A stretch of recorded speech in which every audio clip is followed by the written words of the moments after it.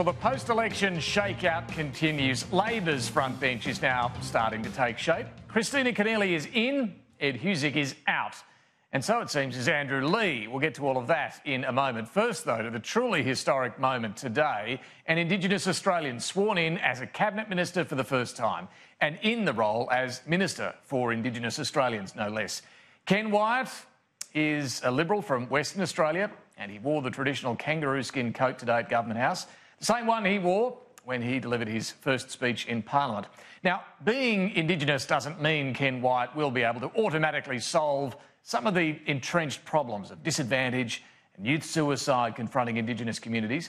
Being Indigenous doesn't mean he automatically has all the answers here, nor does it mean he'll be able to necessarily deliver the constitutional recognition that he personally supports.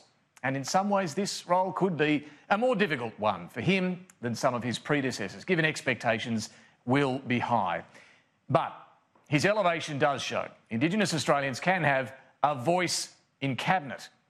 And his decisions as Minister can't be easily dismissed as those of a paternalistic white fellow who knows best.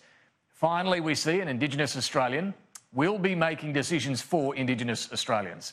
And the significance wasn't lost on the Prime Minister, as the first post election cabinet meeting got underway this afternoon. And a particularly big welcome to Ken. Yeah.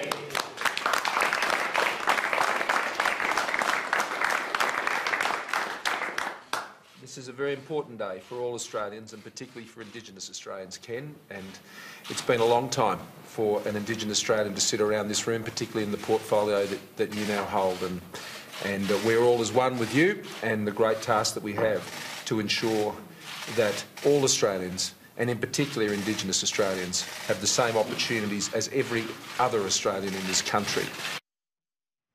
Ken Wyatt was amongst five new faces around the cabinet table there this afternoon. The Prime Minister urged them all to remain focused on delivering the extra jobs they promised before the election and, of course, retiring the debt as promised as well. Coming up, I'll be talking to one of those who was sitting around that table this afternoon, the Resources Minister, Matt Canavan.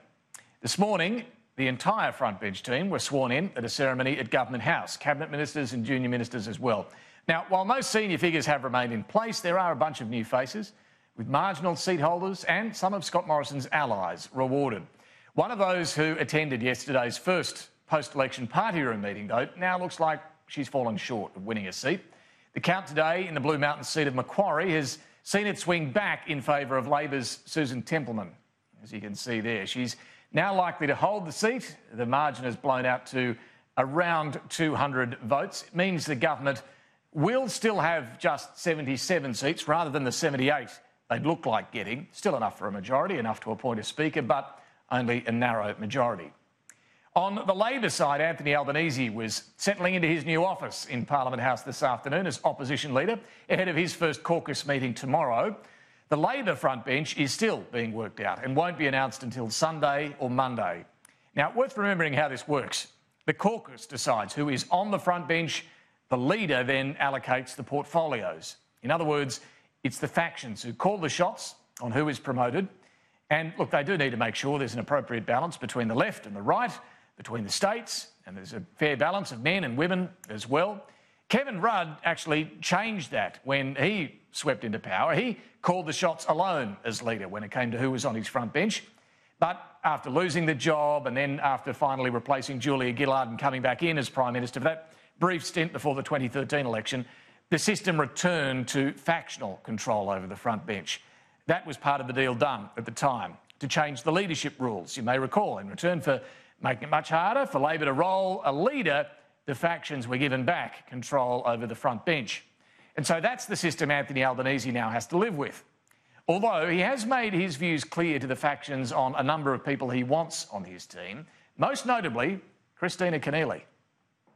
I've made a number of my views very clear uh, to the caucus. For example, Kristina Keneally uh, will be a part of my team as far as I'm concerned. I've made that clear.